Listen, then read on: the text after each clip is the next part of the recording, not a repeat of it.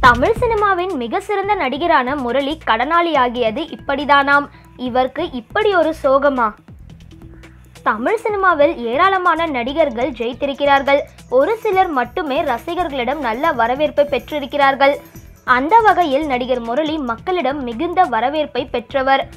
கலரான நடிகர்களை தாண்டி கருப்பாக இருந்தாலும் மனம் கவர முடியும் என ரஜினி விஜயகாந்த் பாணியில் ஜெயித்தவர். ஆக்ஷன் படங்களை விட யதார்த்தமான படங்களில் நடித்து பெண்களின் மனதை கவர்ந்தவர். இவரின் இழப்பு தமிழ் சினிமாவுக்கு மிகுந்த சோகமாகும்.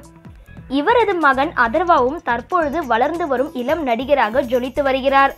இவர் கடைசி காலகட்டத்தில் கடனில் சிக்கி தவித்தாராம்.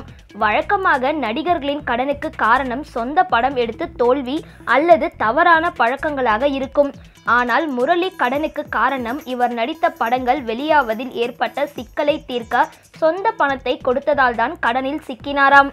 இந்த வீடியோ பற்றின உங்களோட கருத்துக்களை கீழே இருக்க கமெண்ட் பாக்ஸில் போஸ்ட் பண்ணுங்கள் இந்த வீடியோவை லைக் பண்ணுங்கள் ஷேர் பண்ணுங்கள் மறக்காமல் பக்கா டிவியை சப்ஸ்கிரைப் பண்ணுங்கள்